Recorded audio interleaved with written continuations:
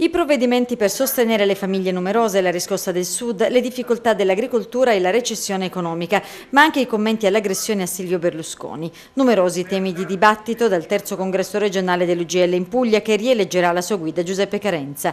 La segretaria generale del sindacato, Renata Polverini, ripropone la ricetta del quoziente familiare che sostenga le famiglie numerose. Occorre una riforma strutturale del sistema fiscale, dice. Secondo l'UGL un nucleo monoreddito con due figli e un reddito lordo anno di 31.000 500 euro avrebbe un vantaggio di circa 2.000 euro. Renata Polverini invoca aiuti immediati all'agricoltura e spiega che il momento peggiore della crisi è passato.